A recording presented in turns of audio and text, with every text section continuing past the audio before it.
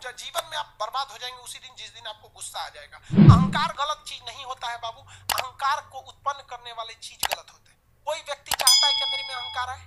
नहीं चाहता है। लेकिन जिस व्यक्ति के अंदर गुस्सा आएगा ना कंफर्म उसके अंदर अहंकार आएगा।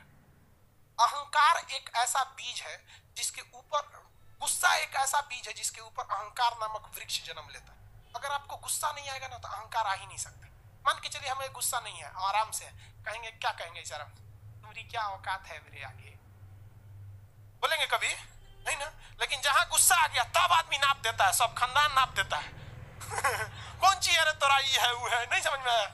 ना, गुस्सा आता है तब। नॉर्मल में ऐसा नहीं बोलता है। समझ में आ गया कि नहीं आ गया?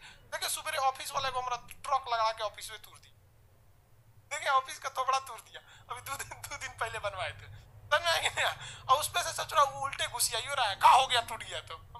सोच रहा हम नॉर्मल है तो तुम हमको का समझ रहा है? कर लेकिन इस चीज़ को याद रखिएगा, अपने जीवन में भी। आप में से कितने लोगों को गुस्सा बहुत जल्दी आता है? लड़की लोग में सबको आता है, आप मत हाथ उठाइए। लड़का, आप लोग इसको संभाल के रखिए।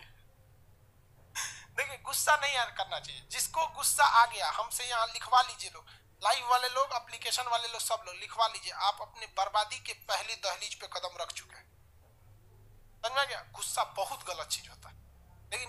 करना चाहिए। हम आपके सामने गुस्सा हो गया तो गेट खटखटा दिया था लेकिन कुछ जगह जेन्युइन होता है। गुस्सा आना भी चाहिए, लेकिन ज़रूरत पर। मिजाज में कुछ सख्ती भी ज़रूरी है, वरना लोग पी जाते अगर समुंदर खारा ना होता। देखिए हाँ हमेशा गुस्सा नहीं करना चाहिए। मतलब अब एकदम ऐसा ना हो कि एकदम ज़िंदगी को इतना सस्ता बना दीजिए कि दो कौड़ी के लोग खेल कर चले जाए। ऐसा भी नहीं होना चाहिए। कुछ थोड़ा सा रहना चाहिए, लेकिन ज़रूरत से ज़्यादा नहीं होना चाहिए। तो ये लोग सोच इराक बर्बाद हुआ अपने चक्कर में। आगे देखें, पश्चिमी